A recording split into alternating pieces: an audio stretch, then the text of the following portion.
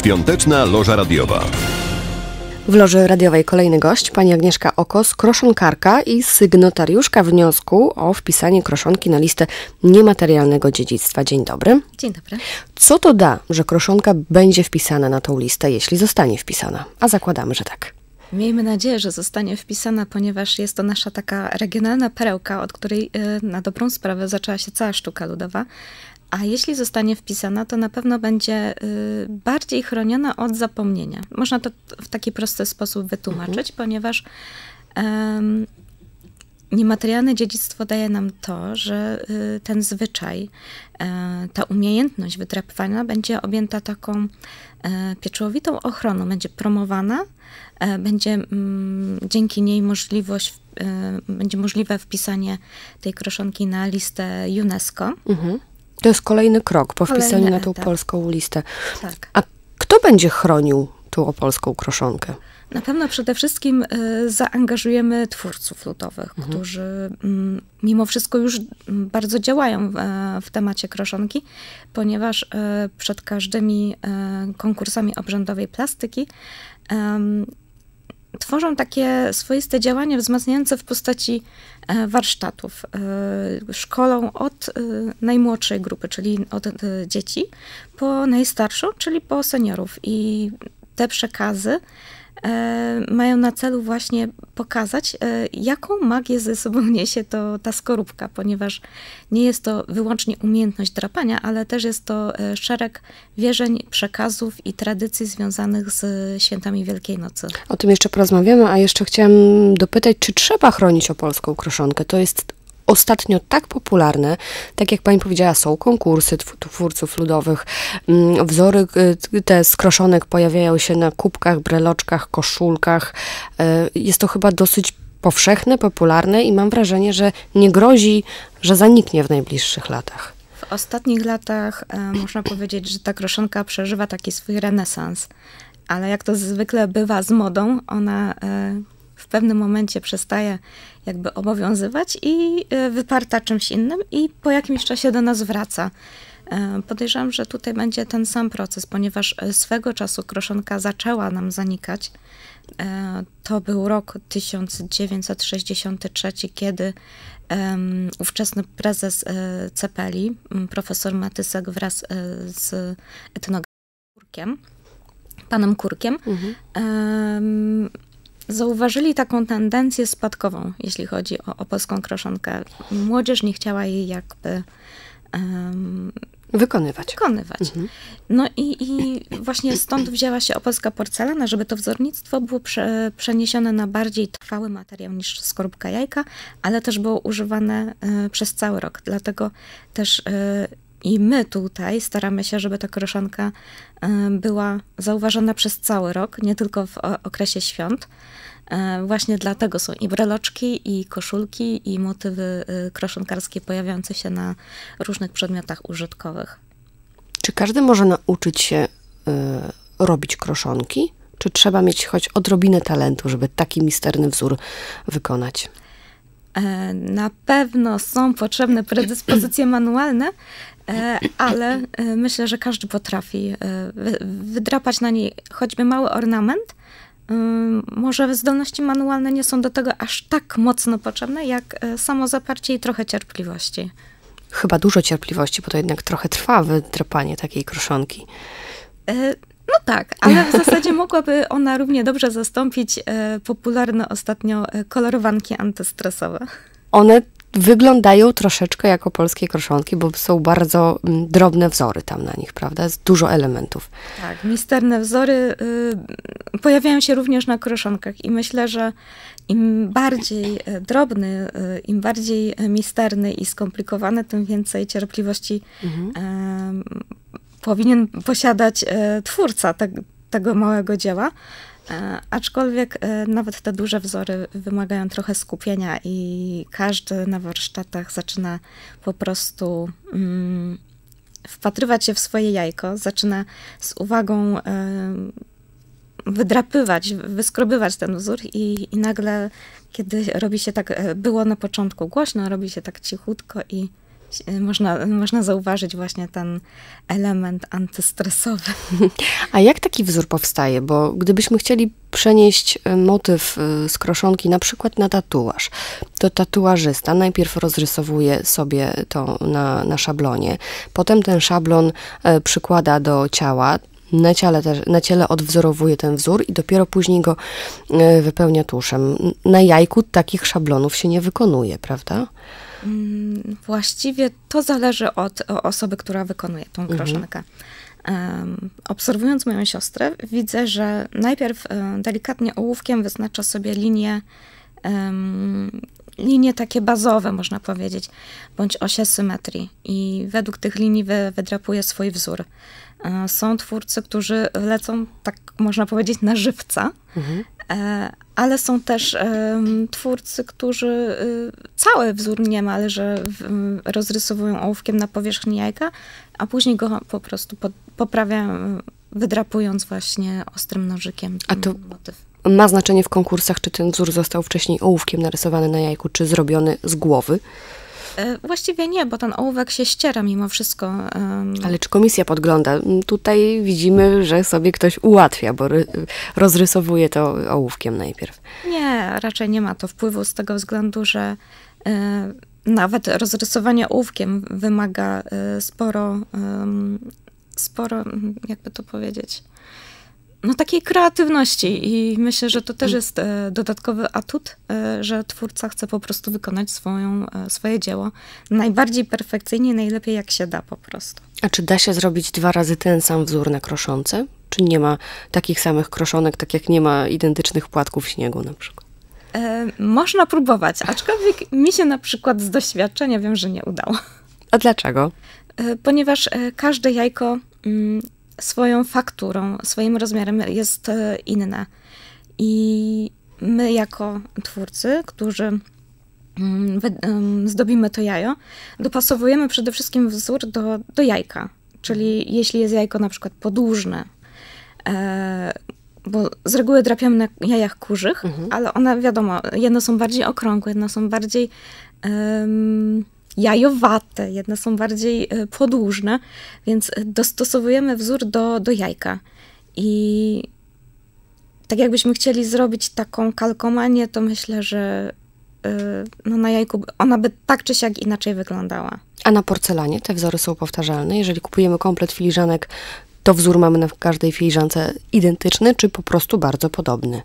Jest powtarzalny, ale nie jest identyczny. Zawsze się będzie różnił e, odrobinie, e, nawet na samej filiżance, jeśli dzielimy na przykład filiżankę na cztery części i chcemy na niej wymalować e, identyczne bukiety, mhm. nie zawsze nam się udaje. On może wyglądać tak stricte bardzo podobnie, ale przy takim dłuższym przypatrzeniu się, takim uważnym spojrzeniu na tą filiżankę się okazuje, że jednak gdzieś tam są jakieś takie drobne niuanse, ale całość i tak tworzy zawsze e, piękny efekt. A czy są mm, jakieś zasady, jakieś e, konkretne wytyczne, elementy, które muszą znaleźć się na kroszące, żeby uznane zostało to za właśnie opolski wzór? Przede wszystkim e, kwiaty. Opolska kroszonka właśnie słynie z kwiatów, ale polnych. I każdy e, twórca ludowy ma swój wzór, charakterystyczny niemal jak odcisk palca. Po prostu nie da się go podrobić. Ja jako małe dziecko próbowałam naśladować wzornictwo pani, e, pani Konieczko. Mm, bo Która uważam... panią nauczyła tej sztuki, tak? Właśnie nie, ale nie? zawsze mi się jajka najbardziej podobała. Nauczyła mnie moja sąsiadka Irena Kozub. E, ona nie jest twórcą ludowym, ale ma właśnie takie zacięcie manualne i kultywowała tą, e, ten zwyczaj drapania jajek przed Wielkanocą. Mm, uczyłam się od niej, ponieważ moja babcia już nie żyła. Mhm. A z czasem, e, kiedy zaczęłam już uczęszczać i do muzeum na lekcje muzealne, zaczęłam podpatrywać tych różnych twórców, jeździć na konkursy, to właśnie pani Konieczko wpadła mi tak w oko i i ona e, niedawno mi zadała pytanie, mówię, Aga, a ty kiedyś chyba próbowałaś? Ja mówię, no próbowałam. Ale mówię, no nie udało mi się. Ona mówi, no bo ja też próbowałam od swojej ciotki, próbowałam, próbowałam, też mi się nie udało. I to zawsze tak będzie, że po prostu każdy twórca e, będzie miał swój charakterystyczny wzór, e, przede wszystkim kwiatowy. Na tych, e, z tych kwiatów możemy wyszczególnić przede wszystkim maki, chabry, słoneczniki, konwalie, stokrotki, no i przede wszystkim opolskie niezapominajki. Czyli jeżeli ktoś mm, jest mocno zorientowany w tematyce kroszonek, patrząc na kroszonkę, może stwierdzić, kto ją stworzył? Jak najbardziej. I to jest, yy, można powiedzieć, ten wzór jest nie do podrobienia, naprawdę. A dlaczego? Przecież no, stworzenie niezapominajki na kroszące, jeżeli ktoś to potrafi, hmm, chyba nie jest aż takie trudne. Nie jest trudne, ale każda ręka jednak idzie w swoją stronę. I mhm. na przykładzie moim i siostry mogę powiedzieć, że ja zwykle drapię jajka, mm, znaczy no, drapię kwiatki e, w, zgodnie z ruchem wskazówek zegara. Tak sobie zawsze jajko obracam mhm. i tak te płatki mi się układają. E, I drapię od góry do dołu, mhm. wykonuję ten ruch charakterystyczny ręką, a moja siostra znowu robi wszystko na odwrót, ponieważ drapie od dołu do góry, Mm, te kwiatuszki, e, te płatki kwiatków i w stronę przeciwną do wskazówek zegara. I choćbyśmy próbowały jeden, e, ten sam kwiatek zrobić, on zawsze wyjdzie inaczej. To jest taka, też można powiedzieć, taki rodzaj magii tego wszystkiego, że e, ile byśmy się nie starali, zawsze będzie to bardzo charakterystyczne, ponieważ E, niektórym twórcom e, wystarczy kilka pociągnięć e, nożyka, żeby stworzyć kwiatek, a niektórym potrzeba kilkadziesiąt pociągnięć.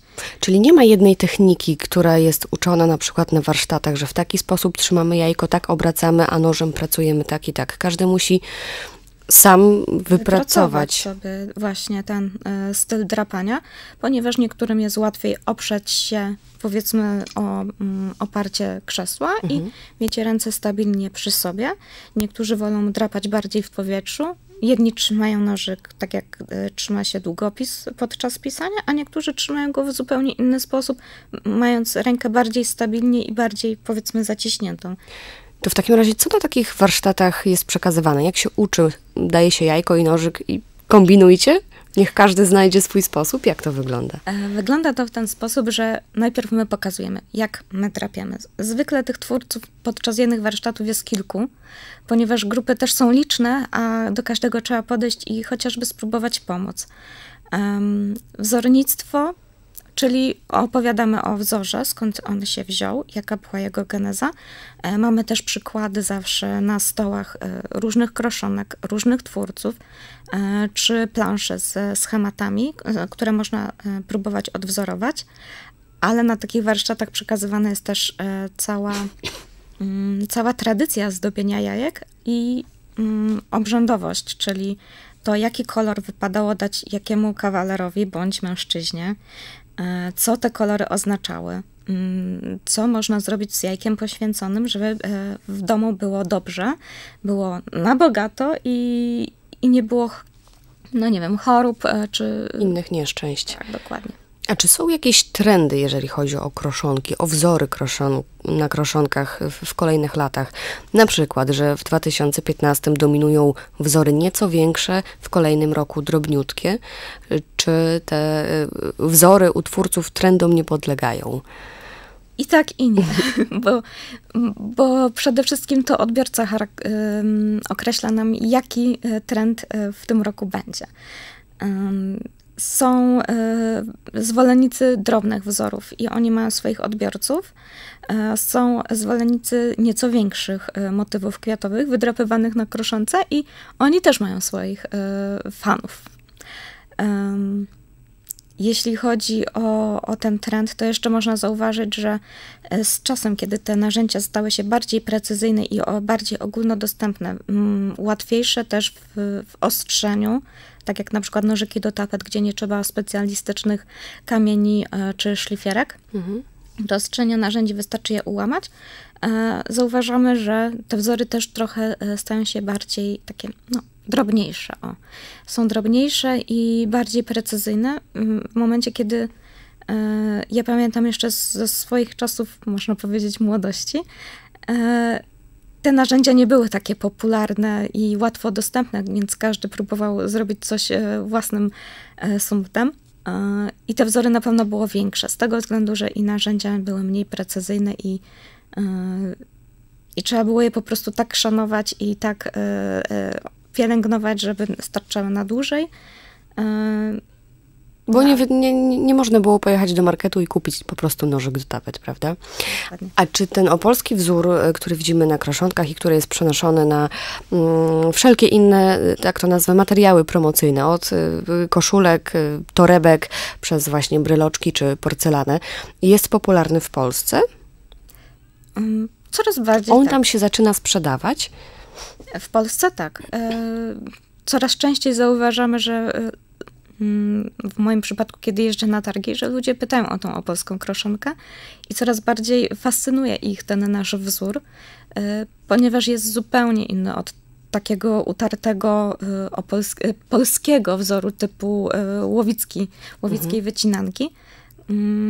Może tam już jest trochę przesyt. I tak jak mówiłam wcześniej, że te trendy się zmieniają. Mm, Przez chwilę jest to super fajne, a później zaczyna być wypierane przez inny trend. Yy, I ta sinusoida będzie sobie tak płynęła e, naturalnie, w górę, w dół. Będzie z, bardziej atrakcyjny w pewnym czasie, w pewnym czasie znowu zacznie być wypierany, żeby znowu wrócić na ten y, mm, wysoki poziom. A teraz w którym momencie jesteśmy? Opolska kroszonka, opolski wzór wypiera łowicki? Czy za- Powoli. Miejmy nadzieję, że tak, ale widzę, że y, powoli jest y, coraz bardziej y, rozpoznawany i coraz bardziej rozchwytywany. Dziękuję bardzo za rozmowę. Państwa i moim gościem była Agnieszka Okos, twórczyni ludowa, kroszonkarka i opolska działcha. Dziękuję serdecznie. Świąteczna Loża Radiowa.